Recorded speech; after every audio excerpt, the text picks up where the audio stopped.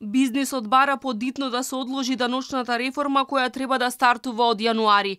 На само еден месец до најавените промени, стопанствениците не знаат кај кои даноци ќе се интервенира и во колкав обем. Гневни се бидејќи наместо властите да го почитуваат даночниот календар и да му ги соопштуваат на бизнисот сите даночни измени барем 6 месеци пред да стапат во сила, фирмите дополнително се оптоваруваат со зголемени трошоци и се принудени во 5 до 12 да прават измени на годишните планови. Револтирани се бидејќи даночната реформа се прави во време на најголема енергетска криза. Цената на енергенсот, кој што се уште не знаеме колку ќе чини, на кој начин ќе биде поддржана ќе биде поддржано македонското стопанство, имајќи предвид дека сите стопанства од регионот се на соодветен начин поддржани во користењето на цената на електричната енергија.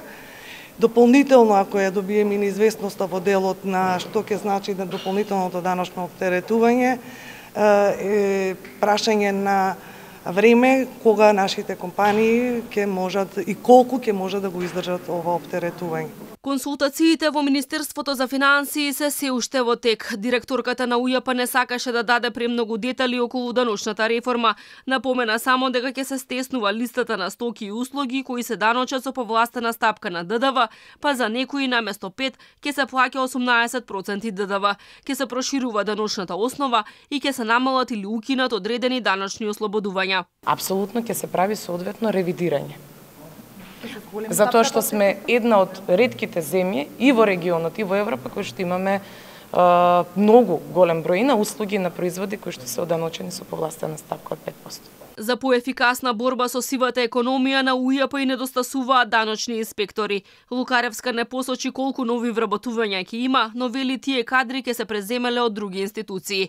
Министерот Бесими потенцираше дека очекуваните ефекти од даночните реформи се вкалкулирани во предлог буџетот. Од вкупно 4,6 милиарди евра кои треба да се соберат во државната каса, само на даноци отпаѓаат 2,6 милиарди евра. Од нив половина треба да се наплатат од ДДВ или речиси 15% повеќе само од овој вид на данок.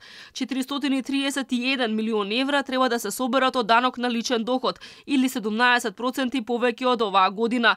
239 милиони евра од данок на добивка, што е зголемување за 21 милион евра, а повеќе пари треба да има и од акцизи и царини.